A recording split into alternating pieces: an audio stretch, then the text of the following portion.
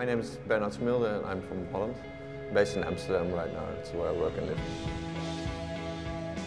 Um, well, the contact started from, for me to go to Louisville was from, um, I got contacted by Drew, the, the owner of this space, and um, he kind of, yeah, he wrote me an email saying, hey, we're interested in your work and would it be an idea to come over and talk about it? So that in the end we talked about it and uh, like, um, yeah, a few months later we said we want to do a solo show here. So yeah, he sent me some images and I had a look at the space and it's really an amazing space. I'm Drew Parrish and I'm the founder of Land of Tomorrow Gallery and also the founder and director of Parrish Production, which is the father or parent company. And in its official capacity, Land of Tomorrow has been operating for three years. Prior to that, we were operating primarily as an art fabrication company, I think going as far back to 2004.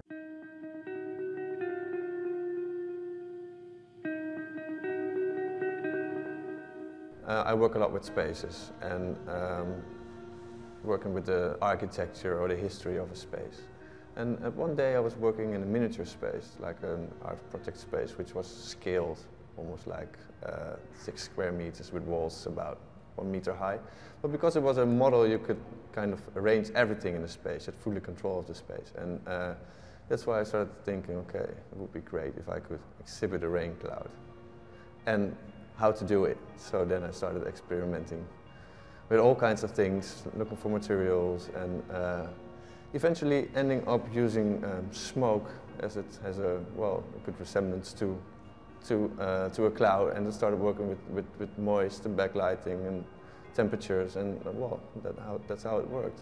And after that, um, I wanted to see if it could work in a conventional size space as well. So early this year, now well, it was 2012, I started working in different locations. I think he is an absolute perfect fit for what we do. Um, we don't operate as a commercial space in essence, like, like what you would imagine in Chelsea or Los Angeles or London. We operate in an in-between world, which is sometimes called a project space. And in project spaces, there's a lot of room for development, there's a lot of room for experimentation, there's a lot of room for collaboration. And one of the things that we love about Bruno is that although a lot of the things and a lot of the work that he does is well published, a lot of the work is a lot really hands-on the minute it hits here. So it's a work in progress.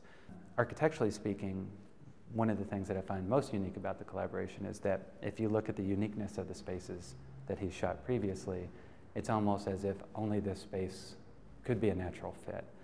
Because this space, this space completely consumes most artists most artists come in here and they completely deteriorate and they crumble and they, they just falter sometimes if they're given the whole thing because of the enormity of what's going on here. But his medium, or his chosen medium, of the cloud is the, the perfect thing to occupy and highlight what it is that we have. Well, the spaces are, are the only thing I can really change or adapt to. So um, and for instance, over here in, in, in, this space, I changed the light by putting blue film on the, on the windows to give more contrast. Um, other than that, I can have an idea of where I want to position the cloud. And um, so then I just started testing with, with, with temperature, moist, backlighting, and uh, do lots of lots of tests and well, then make hundreds of pictures and then select one to be the work. That's basically how it works.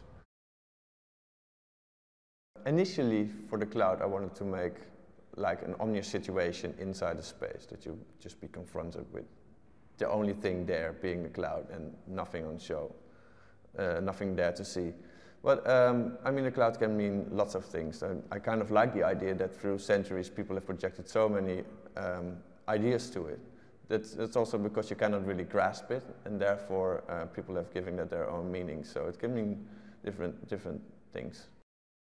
Well, I won't be making just clouds. I do other works as well, and I want to focus on them as well. Also, the, the works that are over there, like that also work with interior parts and reference to it.